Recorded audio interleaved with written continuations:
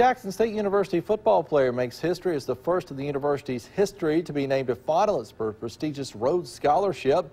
He tells 12 News' Candace Coleman what got him to this point in this week's Cool Schools. A day in the life of 21-year-old Jordan Jefferson is almost nonstop. You'll catch him in several circles.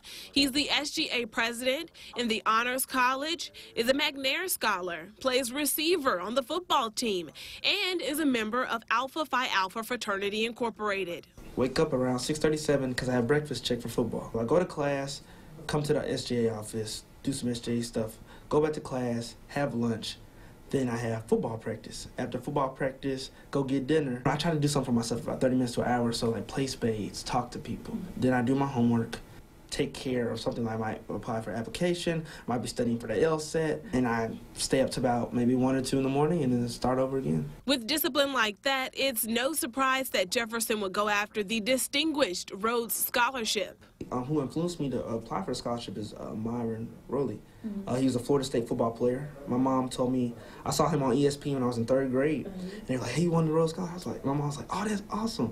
You could do something like that. I was in third. I was like, I don't even know what that is. Okay. The International Rhodes Scholarship is the oldest and most competitive fellowship in the world. Each year, only 32 students earn the scholar title, and very few come from HBCUs. Jefferson made history just by being named a finalist, the first for JSU. I have a great team of people that work with me, and I have people that believe in what I want to do. The Jackson native and Callaway High School graduate is a political science major with aspirations aspirations of law school.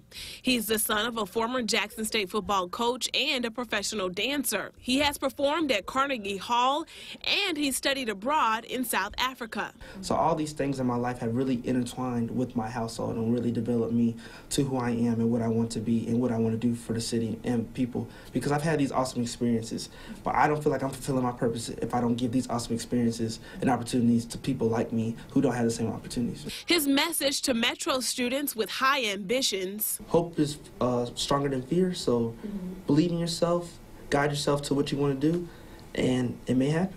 Candace Coleman, 12 News. Oh, thank you, Candace, and thank you, Jordan. Now, Jordan tweeted this weekend that he wasn't chosen as a Rhodes Scholar, but he was happy to represent his university on the highest of levels.